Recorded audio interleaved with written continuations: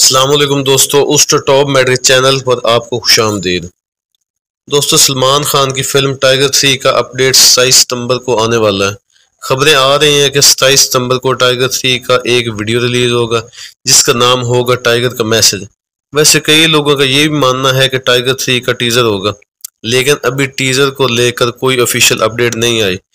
क्योंकि अगर टाइगर का तो टाइगर का कोई टीजर आना होता तो सलमान खान ज़रूर आगाह करते।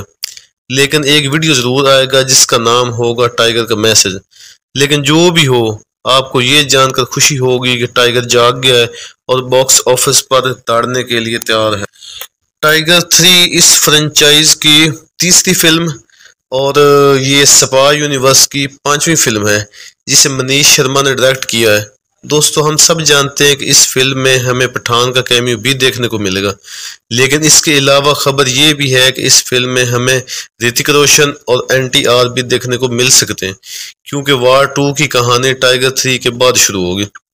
तो सताईस सितंबर को इस फ़िल्म की अपडेट आएगी और 10 नवंबर को दिवाली के मौके पर यह फ़िल्म रिलीज़ होगी। तो क्या कहना चाहेंगे आप सलमान खान की इस फ़िल्म के बारे में? कमेंट में हमें ज़रूर बताएँ। और सताईस सितंबर को ही टाइगर शरफ की फ़िल्म गणपत का टीजर भी आने वाला है। गणपत के मेकर ने एक वीडियो रिलीज़ किया है जिसमें टाइगर बता रहे हैं कि उनकी ये फ़िल्म कितनी अलग होगी। गणपत एक एक्शन ड्रामा फ़िल्म होगी जिसमें टाइगर एक फाइटर के रोल में नज़र आएँगे। इस फ़िल्म को विकास बैल ने डायरेक्ट किया है जिसने सुपर थर्टी और गुड बाय फ़िल्म डायरेक्ट की थी। इंटरेस्टिंग बात यह है कि विकास बैल ने आज तक कोई एक्शन फ़िल्म डायरेक्ट नहीं की। तो देखते हैं इस फ़िल्म में हमें क्या अलग देखने गणपत पार्ट वन बीस अक्टूबर को हिंदी के साथ साथ तमिल, तेलुगु, कलरा और मलयालम मलयालम जबान में देखने को मिलेगी। अक्षय कुमार की आने वाली फ़िल्म मिशन रानीगंज का फ़िश ट्रेलर भी रिलीज़ हो किया गया। ट्रेलर काफ़ी अच्छा है क्योंकि इसमें एक इंटेंस से बड़ी कहानी नज़र आ रही है। अक्षय का लुक काफ़ी अच्छा है। जसवंत सिंह गिल के रूप में नज़र आ रहे हैं।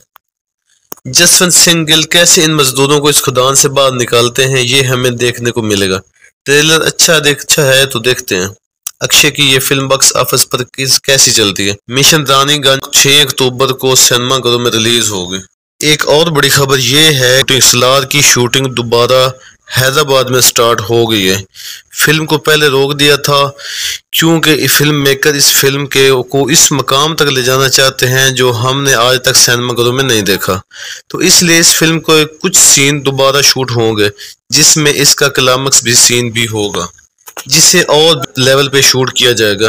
रही बात रिलीज़ डेट की तो अभी एक बड़ी खबर आ रही है कि इसी साल बाईस दिसंबर को रिलीज़ होगी। जैसा कि आप सब जानते हैं कि बाईस दिसंबर को ही शाहरुख खान की फ़िल्म डंकी भी आ रही है। शाहरुख खान ने ये खुद कन्फर्म किया है कि इसकी फ़िल्म डंकी इसी साल क्रिसमस पे आ रही है। सलार का अभी ऑफिशियल नहीं है, लेकिन रूमर बड़ा तगड़ा है कि इसी साल बाईस दिसंबर को आ सकती है। लेकिन भाई, अगर सच में ऐसा होता है तो बॉक्स ऑफ़िस पर क्या होगा? अभी इसका अंदाज़ा लगाना मुश्किल है। क्योंकि दोनों बड़ी फ़िल्में हैं, दोनों फ़िल्मों को इंडिया के दो बड़े डायरेक्टरों ने डायरेक्ट किया है। दोनों फ़िल्मों में दोनों बड़े एक्टर हैं। अभी मुझे तो समझ नहीं आ रहा, लेकिन आपको लोग ज़रूर बताएँ कि ये दो बड़ी फ़िल्में अगर बॉक्स ऑफ़िस पर क्लैश होती हैं तो कौन बाजी ले जाएगी?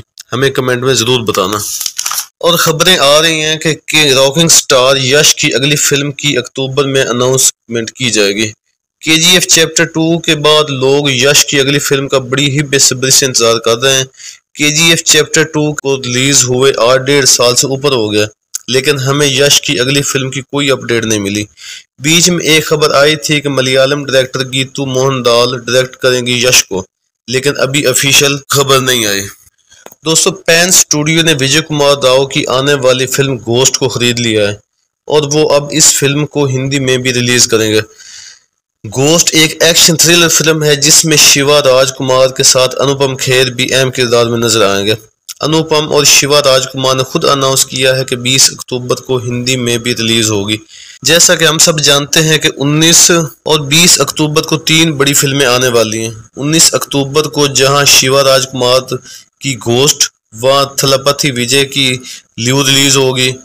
वहाँ पर टाइगर की गणपत रवि तेजा की टाइगर नगेश्वर 20 अक्टूबर को रिलीज़ होंगी।